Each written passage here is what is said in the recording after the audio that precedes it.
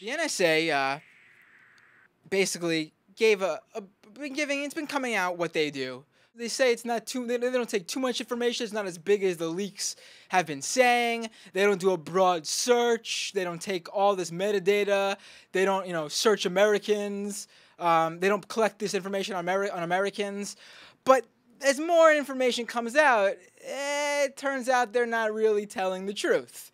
Not surprising at all, but this is a bit interesting here. Um, Chris Inglis, the agency's deputy director, uh, was one of several government representatives, including from the FBI and uh, the Office of the Director of National Intelligence, who testified uh, uh before the House Judiciary Committee uh, last week, uh, July 17th. And while his testimony large, largely discussed previous testimonies that were already given, uh, basically what we know about examples of how the Patriot Act and the uh, the uh, FISA Act has stopped terror events. You know, even though they don't really provide very much proof behind that. Um, and Wyden and Udall said they were being misleading yes, about exactly. that. And Wyden and Udall said we can't go on the record because we will break, uh, you know, secrecy. But please stop being dishonest.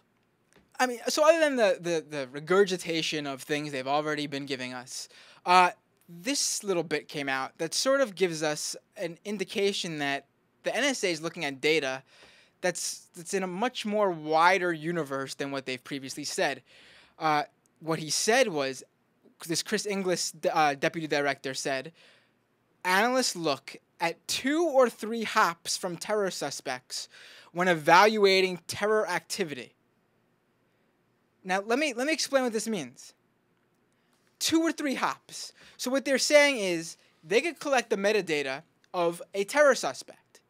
And from this terror suspect, they could collect the metadata of whoever they've called. So that's one hop. And then they could collect the metadata of whoever that person called. That's two hops. And then they could collect the metadata of whoever that person called. That's three hops. So to make this a bit more clear here, let's say you're on Facebook uh, and you have and you're friends with someone. That's one hop. The NSA will look at your friends' friends, two hops. And then they will look at your friends' friends' friends. That's three hops. Wait a minute here. Let me everyone's connected in some way. Don't forget that. Researchers at the University of Milan found that in 2011 everyone on the internet in the entire internet using world was on average 4.74 steps or hops away from anybody else. There's like four degrees of bin Laden instead of five degrees of bacon. Yes.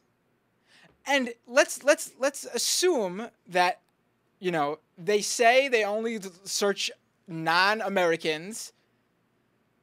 They only collect metadata from non-Americans.